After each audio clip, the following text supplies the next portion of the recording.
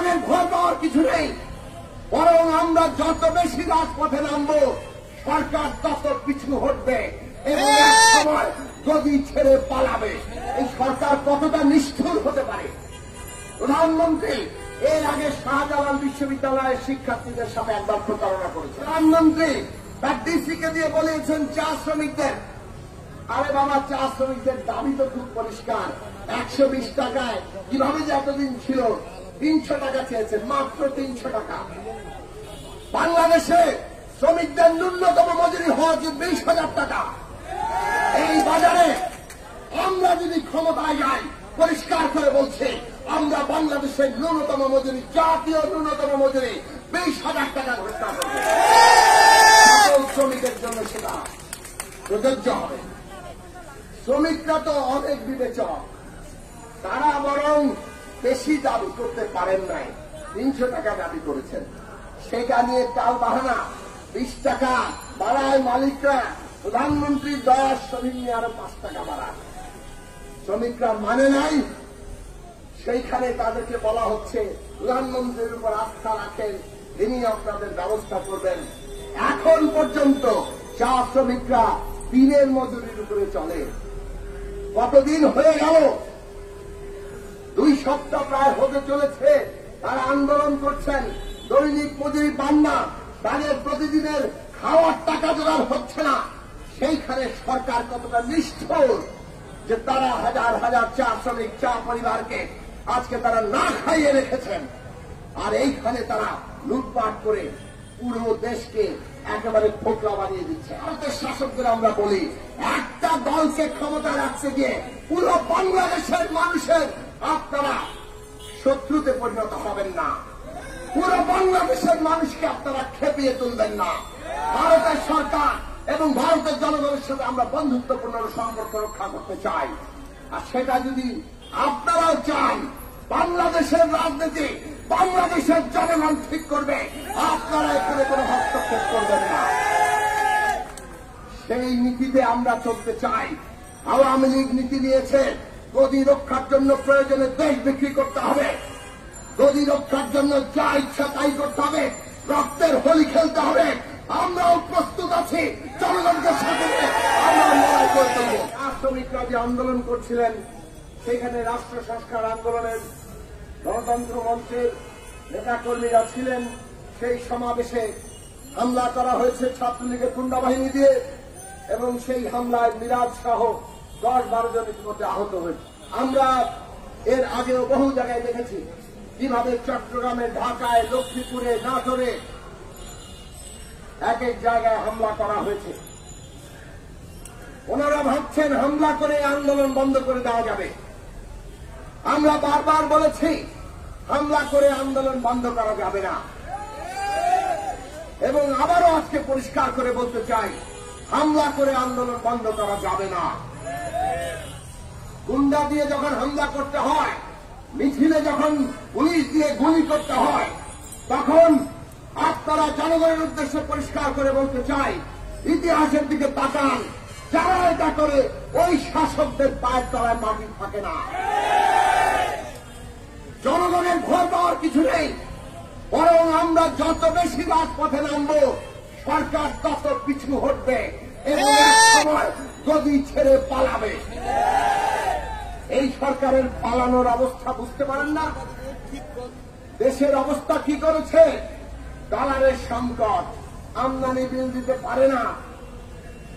তেলের দাম বাড়িয়ে দিয়ে অন্যায়ভাবে মানুষের পকেট থেকে টাকা নেয়। বিদ্যুতের দাম বাড়ানোর পায়তারা করে। চিন্তা করে দেখেন, এই যে জ্বালানি তেলের দাম বাড়ালো আমরা বলেছি দুর্নীতির কারণে হচ্ছে, আপনাদের দুর্নীতির কারণে ডলার সংকট হচ্ছে। আপনারা জ্বালানি তেলে লাভ করেছেন, আপনারা কর ভ্যাট নিচ্ছেন, সমন্বয় করেন, তাহলে এই দাম বাড়ানোর দরকার নাই। মানুষ এমনিতেই ভয়াবহ নাকাল অবস্থা, আর না বিশ্বাস তুলেন না, পেটে লাথি মেরেন না। কিন্তু ওই যে জ্বালানি মন্ত্রী বিপু সাহেব বললেন, একচল্লিশ থেকে পঞ্চাশ শতাংশ বাড়ানোর পরে তারা এত চিন্তা করে দাঁড়িয়েছেন, মানুষ খুব স্বস্তিতে আছে। এখন বেরোচ্ছে। ওই জ্বালানি মন্ত্রণালয়ের সংসদীয় কমিটি বের করছে। নয় হাজার কোটি টাকার ঘাপলা কেবল বিপিসিতে আমরা যে বলে আসছি, লক্ষ লক্ষ কোটি টাকা এরা পাচার করছে। সেইটা নানাভাবে এখন এই যে দিক শূন্য সরকার, মাথা খারাপ হয়ে যাওয়া সরকার, তাদের সমস্ত কর্মকাণ্ডে নিজেরাই অনেক ক্ষেত্রে প্রকাশ করে দিচ্ছে। এই পরিস্থিতিতে এসেই পররাষ্ট্রমন্ত্রীকে ভারতের পায়ে ধরতে হয়। ভারতের জনগণ আমাদের বন্ধু, ভারতের শাসকদের আমরা বলি। একটা দলকে ক্ষমতায় রাখতে গিয়ে পুরো বাংলাদেশের মানুষের আপনারা শত্রুতে পরিণত হবেন না। পুরো বাংলাদেশের মানুষকে আপনারা খেপিয়ে তুলবেন না। ভারতের সরকার এবং ভারতের জনগণের সাথে আমরা বন্ধুত্বপূর্ণ সম্পর্ক রক্ষা করতে চাই। আর সেটা যদি আপনারাও চান বাংলাদেশের রাজনীতি বাংলাদেশের জনগণ ঠিক করবে। আপনারা এখানে কোনো হস্তক্ষেপ করবেন না। সেই নীতিতে আমরা চলতে চাই। আওয়ামী লীগ নীতি নিয়েছে, গদি রক্ষার জন্য প্রয়োজনে দেশ বিক্রি করতে হবে। গদি রক্ষার জন্য যা ইচ্ছা তাই করতে হবে। রক্তের হোলি খেলতে হবে। আমরাও প্রস্তুত আছি, জনগণকে সাথে আমরা লড়াই করে তুলব সেই লড়াই আমাদের করে তুলতে হবে। বন্ধুরা, নেতৃবৃন্দ কথা বলবেন, কথা বাড়াবো না। আগামী দিনে গণতন্ত্র মঞ্চ আগামী এক মাস ধরে বিভিন্ন রাজনৈতিক দল, শ্রেণি পেশার সংগঠন, জনমানুষ নানা স্তরে মত বিনিময় করবে, তাদের সাথে আলাপ আলোচনা করে তুলবে। এবং গণতন্ত্র মঞ্চ অতি দ্রুততার সাথে আন্দোলনের বৃহত্তর কর্মসূচি ঘোষণা করবে সেই কর্মসূচি অপর অপর দলের সাথে আমরা বসে যুগপথ ফেরায় এক বৃহত্তর গণ আন্দোলন গড়ে তুলব। সেই আন্দোলনে আপনারা অংশ নেবেন।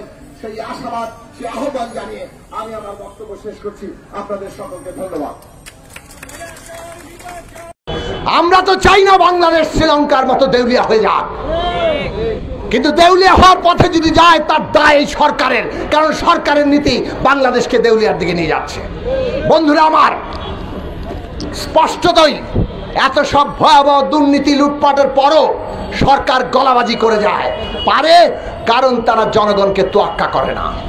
এই দেশে কোনো ভোট নাই। ভোট ব্যবস্থা তুলে দিয়ে একটা ভয়াবহ স্বৈরতন্ত্র কায়েম করে নিজেদের ভাই বেড়াদারদের জনগণের পকেট কেটে তাদের পকেটে টাকা ঢুকিয়ে সেই টাকা বিদেশে পাচার করে নিজেদের ভবিষ্যৎ তারা গড়ে তুলছে। কাজেই এদের হাতে আমাদের জীবন, আমাদের ভবিষ্যৎ নিরাপদ নয়। যদি দেশের ভবিষ্যৎ নিরাপদ করতে হয়, তাহলে আজকে এই সমস্ত লুটপাটের বিচার করতে হবে।